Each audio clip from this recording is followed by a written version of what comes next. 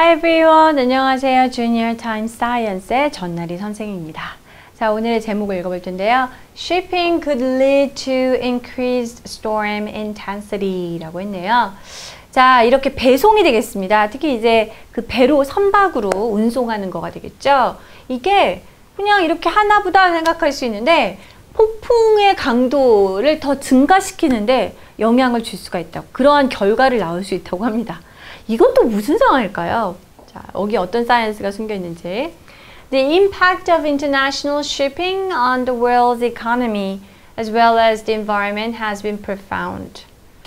자, 국제적인 선박, 그죠, 이동, shipping의 영향력이 전 세계 경제에 미치는 영향력, 또 환경, 이제 환경뿐 아니라 경제에 미치는 이런 영향력은 아주 심오하죠. 그렇죠. 만약에 선박회사들이 망하거나 혹은 큰 어떤 사고를 당하거나 혹은 아니면은 뭔가 그 운송에 차질이 있으면 굉장히 큰 문제가 생길 수 있겠죠.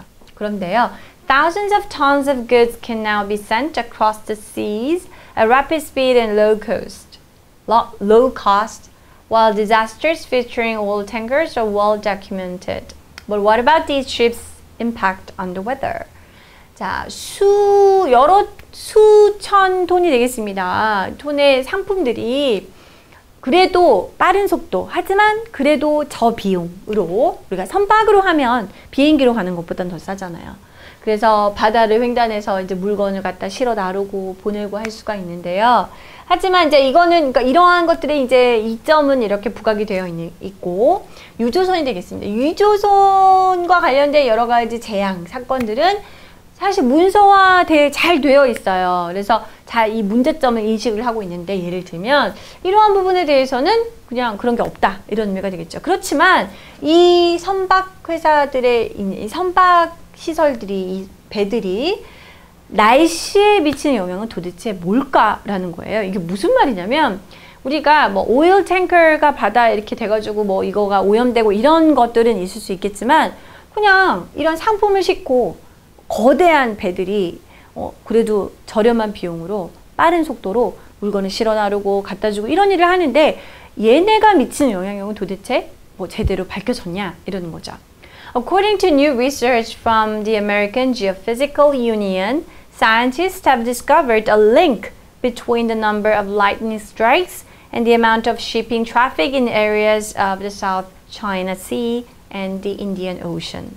굉장히 흥미롭다는 생각에서 들었는데 미국의 지구물리학 협회에서 연구를 했는데요. 새, 새롭게 발표한 연구에 따르면 과학자들이 하나의 연관성을 발견한 거예요. 무엇이냐면 자 번개가 치는 횟수 그리고 이 shipping traffic 즉 그러니까 선박 우리가 차가 많이 가면 car traffic이 많은 건데 shipping traffic이라면은 그 해로를 따라서 선박이 얼마나 많이 다니냐의 문제가 되겠죠. 그래서 선박 교통량의 그 양하고 번개가 치는 것의 이 어떤 횟수 양하고 관계가 있더라라는 것이죠. 특히 이제 어디 지역이냐면 남중국해하고 인도양이 되겠습니다. In some cases, the rate of lightning strikes were almost double the normal rate in areas with high traffic.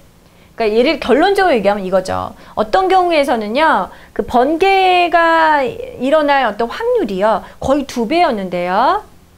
일반적인 확률보다 뭐냐면은 굉장히 하이 트래픽, 그 쉬핑 트래픽이 되겠죠.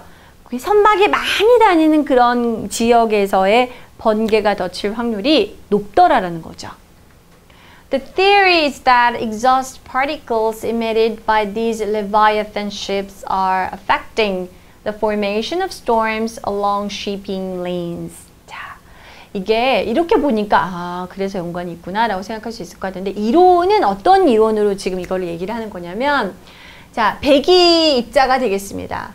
이 Leviathan ships라는 건 어마어마한 거대 선박이 되겠죠. 수천 톤의 화물을 싣고 가는 배가 얼마나 크겠습니까? 그리고 그 배에서 엔진과 연료 그 뿜어져 나오는 것들이 있겠잖아요. 그래서 이 어마어마한 대형 선박들에 의해서 뿜어져 나오는 그 배기 입자들이 영향을 준다는 것이죠.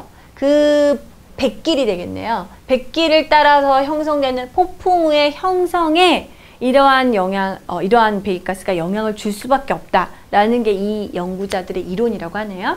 It's hoped that further analysis can shed more light on how air pollution can affect storm formation. 그러니까 모든 게 이렇게 우리가 뭐 기후 변화도 그렇고 공해도 그렇고 이런 공기, 물, 뭐 이런 모든 것들이 연관이 되어서 기후에 영향을 주고 있잖아요. 그렇기 때문에 좀 더 더 연구가 필요할 것이다. 더 깊은 연구를 통해서 아무래도 이제 대기 오염이 또 이런 폭풍 형성에 영향을 주는 것에 대해서 더 밝혀줄 수, 아무래도 더 빛을 비춰줄 수 있는 그러한 것이 있기를 지금 앞으로 연구 과제다라는 거가 되겠죠. According to the study's conclusion, 자, 이 연구의 결론에 따르면요. These shipping lanes are thus an ongoing experiment how human activities that lead to airborne particulate matter pollution can perturb storm intensity and lightning. 자, 이러한 백길들은 따라서 어떤 계속 진행, 현재 진행형인 실험, 일종의 실험 을 계속 진행하는 거죠. 이 사람들을 실험해 주려고 다니는 건 아니겠지만, 얼마나 인간의 이런 활동이, 인간이 이렇게 만들고 뭐 하는 이런 활동들이 있죠. 공기 중에 입자들이 되겠죠. 그 공구, 공, 공기 중에 있는 여러 개 입자 물질의 어떤 공해가 자, 교란시킨다는 거예요. 그래서 우리가 스톰이라는 건 자연 현상일 수 있지만 얘네들의 강도와 또 번개와 같은 이런 현상을 더 교란하면서 생각보다 더 크게 일으킬 수도 있고 이러한 것에 영향을 주는지 이 부분에 대해서 이 백길의 어떤 이러한 것들이 우리 그 하나의 실험처럼 지금 작용을 하고 있다라고 연구자가 밝혔다고 합니다. 자, 굉장히 흥미로운 연구라고 생각이 되는데요. 관련된 라이팅 문제 한번 보도록 하겠습니다. 자, 그 영향은 엄청나게 컸습니다. 라는 거죠. The impact has been profound. profound라는 건 굉장히 심오하다, 깊다, 크다 이런 의미가 되겠죠. 자, impact on 뭐에 대한 국제 선박에 대한 국제 어떤 그런 선박으로 이동하는 거가 되겠죠. 그래서 of international shipping 여기까지가 주어 부분이 되겠고요. impact가 주어가 되겠죠. 그래서 has been profound. 자, 그 다음 볼까요?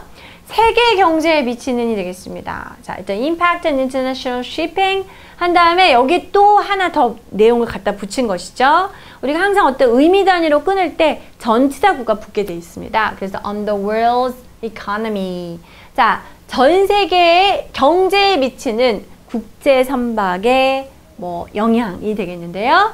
자, 뭐뿐만 아니라가 또 붙었어요. 환경뿐 아니라 그래서 마지막으로 붙는 그 전치사구가 as well as the environment가 되겠죠. 그래서 약간 주어가 굉장히 길어졌는데요. 이 긴 것도 처음부터 이렇게 길어진 게 아니라 the impact on international shipping on the world's economy as well as the environment 이렇게 해서 항상 그 전치사 구를 중심으로 piece by piece 이렇게 쪼개면서 문장을 구성해서 보면은 영장하기도 쉽고 반대로 또 이거를 해석하기도 좀 더 더 용이한 것이죠. 그래서 항상 영어의 이런 구조들을 잘 확인하시기 바랍니다. Okay, that is all for today. Bye bye everyone.